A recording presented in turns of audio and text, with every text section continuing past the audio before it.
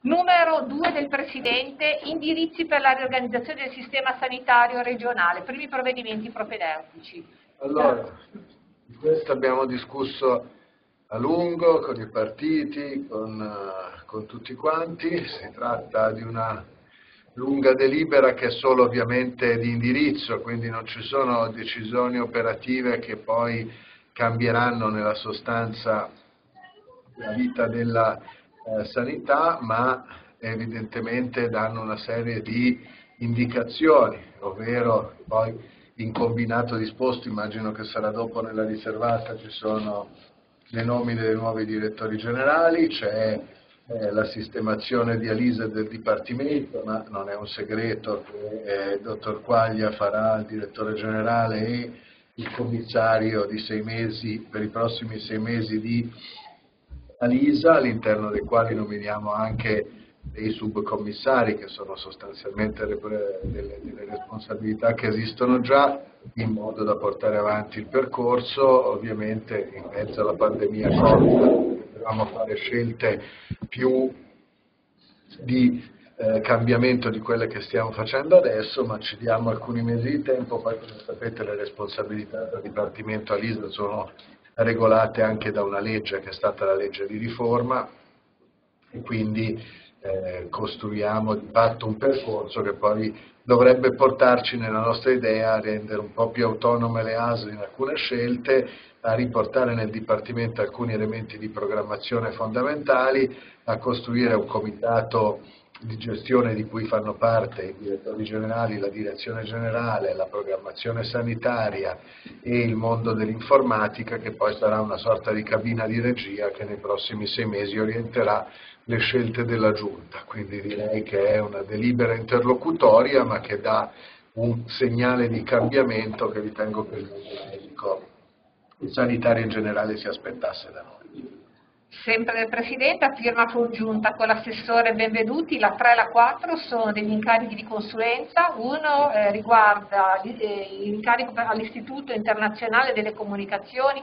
per l'analisi delle necessità infrastrutturali del mercato del GNL con un importo di spesa per euro 79.900 Invece la 4 riguarda l'incarico alla società Nemex SRL per supporto alle strutture regionali per lo sviluppo delle attività previste dal progetto Fenix con un importo di spesa per euro 41.846. La numero 5 è riservata, numero 6 è l'approvazione del schema di contratto di lavoro del direttore generale dell'Agenzia regionale per il lavoro, la formazione e l'accreditamento Alfa. In riservata poi andrà la nomina del direttore, quindi infatti la 7 è riservata. Numero 8, sempre del Presidente, eh, approvazione del gruppo amministrazione pubblica Regione Ligure e dei soggetti compresi nel bilancio consolidato, ai sensi del decreto legislativo 118 del 2011. 9. Determinazioni, sempre del Presidente, determinazioni in merito al bilancio di previsione 2020 dell'Istituto Giannina Gaslini. 10. Rettifica parziale della DGR 1020 avente ad oggetto variazioni al bilancio, contributo per la riduzione del debito delle regioni a statuto ordinario.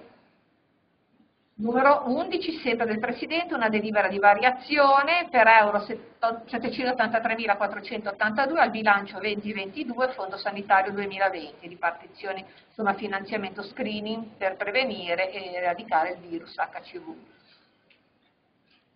Numero 12 è l'approvazione del documento tecnico di accompagnamento del bilancio gestionale e del bilancio di presidio della Regione Liguria per gli anni finanziari 21-23. 13, sempre del Presidente, eh, approvazione del progetto definitivo di realizzazione del nuovo ospedale di Galliera, primo lotto con un impegno di spesa, relativo impegno di spesa. Scusate, scusate, vedevo se è possibile se era possibile questa portarla alla prossima punta perché è arrivata da poco e, no, in Galliera è impossibile portarla alla prossima giunta c'è il vicepresidente qua sotto è la fine di un iter l'ospedale Galliera sono cinque anni di lavoro Alessio Alessandro. Eh, lo, so, lo, so, Giovanni, non è per mancanza di fiducia e nemmeno per mancanza di rispetto. No, ma non è proprio in discussione. È già stato annunciato sui giornali stamani, è presentata, è registrata da tempo, è l'iter finale dell'ospedale Galliera, vorrebbe dire dare un segnale devastante alla Liguria, di sfiducia al Consiglio di amministrazione, alla Curia. Ma proprio per questo motivo magari se ci fosse stata trasmessa prima ci avrebbe anche tolto da questo imbarazzo, perché io comunque delle direttive... Nel momento in cui è stata finita dagli uffici, perché ci hanno chiesto al Consiglio di amministrazione del Galliera, è una mia diretta responsabilità come assessore alla sanità. Quindi vi chiedo di fidarvi ed approvare. Io sento un attimo, eh, fammi sentire, mi, mi, sento un attimo in privato con, con Vuole astenersi, si astiene. È il nuovo ospedale del Galliera, sono sei anni di lavoro, mi sembra una discussione, è già tutto, come si dice, programmato e pubblico da tempo immemorabile, eh? è semplicemente l'atto finale. Credo che sia solo una questione di tempi, perché è arrivata quattro minuti prima della giunta. No, lo so benissimo. Caletta, capito? No, non cosa sia dentro, quindi sicuramente è così. La portiamo in fondo, leggetela, ma è, una, è un iter complesso, è cominciato all'inizio della passata legislatura, finisce oggi, c'è ovviamente il, la, tutto il mondo del Galliera che la sta aspettando, c'è il vicepresidente Zampini già convocato alle tre in sala stampa per annunciarlo, non è un atto che modifica, è l'atto che mette insieme il nostro finanziamento. Comunque se volete portiamolo in conto. conto però qualsiasi atto sia, però il mio tempo di legge è arrivato al 13 e 26 perché l'ho vista in tempo reale che arrivava così. Sì, ma io... Neanche letta, cioè sicuramente è così. Però... Lascio mezz'ora per leggerla se volete. Vediamo un secondo. Grazie, grazie Giovanni. Per scrupolo, ecco nel senso. Dalla 14 alla 22 sono pratiche riservate, quindi 23 a firma congiunta, Presidente, Assessori Benvenuti e di azione annuale delle partecipazioni societarie dirette ed indirette, ricognizione delle partecipazioni tenuta al 31 dicembre 2019, relazione sulla tazione e gli interventi definiti. 24, sempre del Presidente, è la concessione del patrocinio della Regione Liguria di iniziative varie. La 25, sempre una trattazione riservata, Numero 26, sempre del Presidente, l'approvazione degli accordi integrativi tra Regione, Alisa e le organizzazioni sindacali della pediatria di libera scelta riguardanti i progetti di vaccinazione antinfluenzale per soggetti in età pediatrica, sani, esecuzione di test antigenici eh, per il potenziamento della gestione emergenza Covid e potenziare le forme associative del personale diffuso. La 27 anche è soggetta a trattazione riservata, quindi si passa alla 28, sempre del Presidente, eliminazione dei termini per la presentazione delle domande per l'iscrizione all'elenco regionale degli aventi titola, nomina direttore e socio sanitario presso le aziende sanitarie e enti del sanitario regionale numero 29, sempre del Presidente, recepimento delle linee di indirizzo nazionale per la ristorazione ospedaliera, assistenziale e scolastica ai sensi dell'articolo 144 del decreto legislativo 50 del 2016. 30 del Vicepresidente è l'approvazione delle linee guide per la formazione degli operatori degli ittiturismi e dei pescaturismi della Liguria.